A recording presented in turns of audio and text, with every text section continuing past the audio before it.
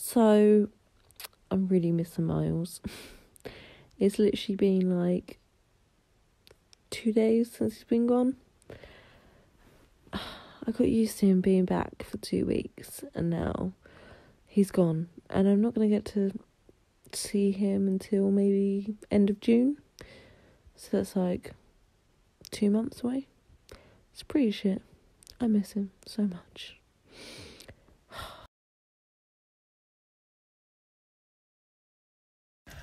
So it's my first day back at the gym in a week.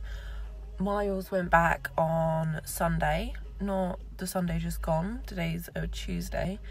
The Sunday before that, and the first uh, like two days after he went, I went to the gym, and I've just been so miserable since he's been gone that I, I just haven't had the energy or haven't wanted to go to the gym.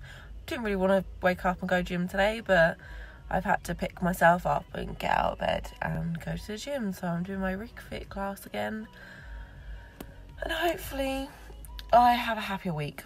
And I'm back at work today as well, so fingers crossed. Yay!